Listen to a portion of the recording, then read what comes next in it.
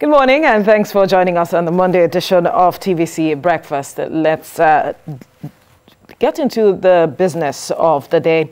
Now, there's been an increasing attacks on schools by armed bandits, uh, especially in the north. And uh, these attacks are leading to a vacuum in education with the number of... Richard, thank you for joining us on TVC Breakfast. Good morning. Good morning, Veronica. Now, I wonder what came to mind uh, when you heard that uh, states are now adopting new and unusual methods uh, to addressing these issues mm -hmm. of insecurity, especially uh, in among in schools. Rather, we're seeing that uh, some of them are adopting the use of uh, local vigilantes who they are mm -hmm. arming with bow, arrows, and machetes, and the likes, since they can't bear arms, and we also see that uh, they are also engaging the use of dogs. Uh, uh, first of all, again, good morning. Um, without missing word, it's just unfortunate that um, protecting schools in the northern part of Nigeria, as we speak, is going to be a major issue. Major issue because of the fact that um, um, the schools are built inside the, uh, some local governments where the distance from school to, to the police. Let's say is after Boko. And I still remember that our school was in the in the middle of nowhere.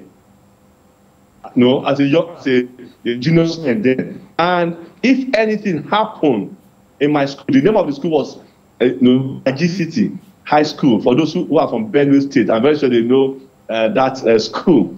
So what I'm trying to say here is that the the nearness of the school to the police station is very, very far for even from, you know, from the people.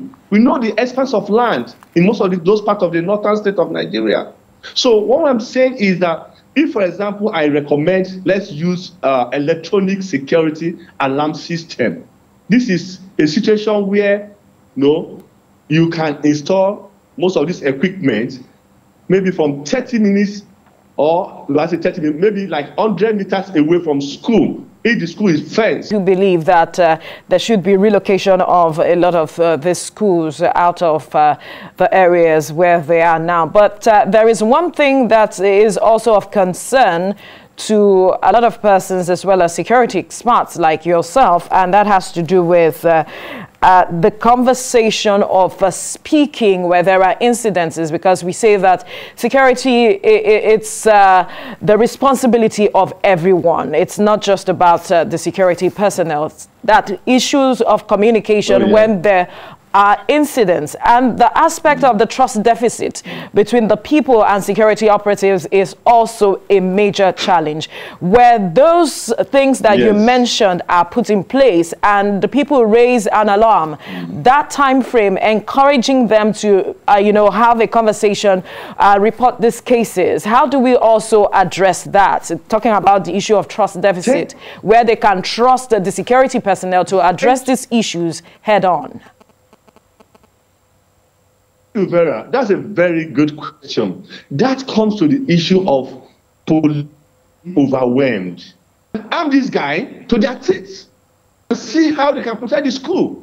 But again, you're not going to make school environment over. You're not going to overwhelm it with security personnel because these children have to go and learn. So whether we like it or not, the measure, the, the, the, the situation we find out now deserves a desperate measure.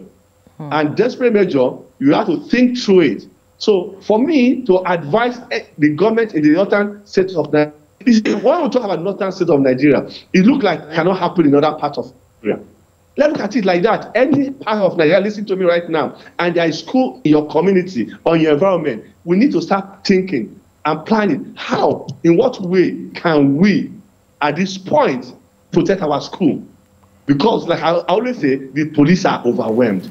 So, so, so then you and are the expert here, Richard. So talk to us. What would be adequate enough to ensure safety of schools at this point? I mean, what are we? What what are we?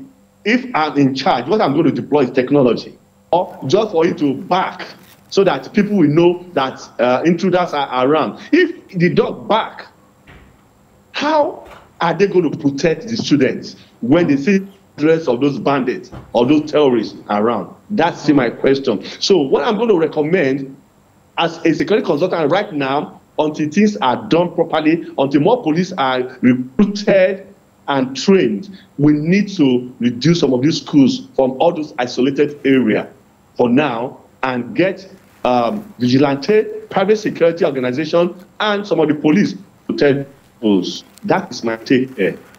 All right, uh, Richard Amoah, security consultant, thank you so much for your time on the program.